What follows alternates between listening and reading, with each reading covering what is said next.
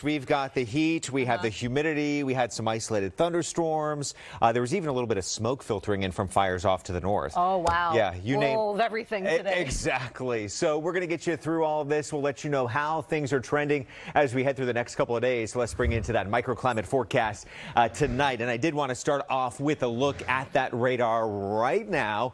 And we've had a lot of the heat and also the thunderstorm chances coming from the desert southwest. From this area, high pressure. It's really kind of funneling things up here, especially over the Sierra. You can see how active it is right there over the past 30 to 45 minutes.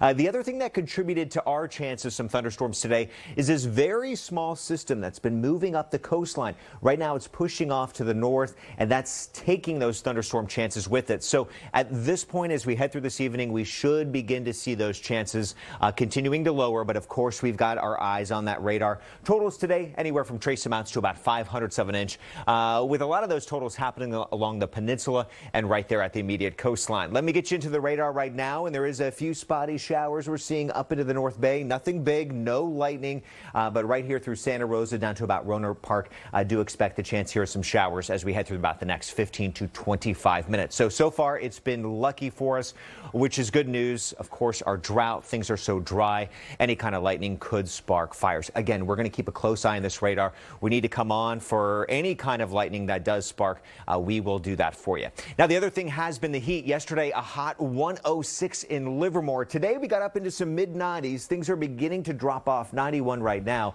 but it's still going to be a slow drop as we do have some of those clouds overhead, uh, holding on to 80s at 8 p.m. Eventually, we're down into the some into some 70s. Now, as we roll through tomorrow's forecast, I did want to show you the area of high pressure that's been producing the heat and those thunderstorm chances. It's going to start to move more off towards the east. That's going to allow that fog pattern to take hold a little bit more and help to bring us some more comfortable weather. So I think overall tomorrow should feel a little bit more like the Bay Area and our forecast. So as we head through tomorrow morning's forecast, you can see that fog returning. That's areas of drizzle near the coastline. That as we head through the afternoon, we get sunshine across those inland valleys, but we actually could hold on to some drizzle right here at the immediate coast.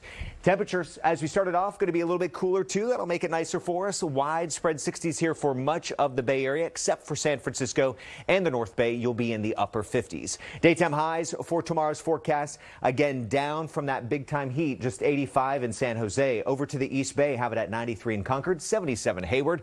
Peninsula, 75 in San Mateo. San Francisco, 50s and 60s, and the North Bay, 90 in Sonoma, 91 in Napa. On my seven day forecast, things will continue to look nice for us in San Francisco through this weekend with those 60s. And the inland valleys, we're going to hold with this pattern of some low and mid 90s next couple days, go down to some 80s on Sunday. I think once we get this behind us, we do have some really nice California weather coming our way. Yeah, I'm looking forward to that. Yes. All right, Jeff, thanks so much. Sure.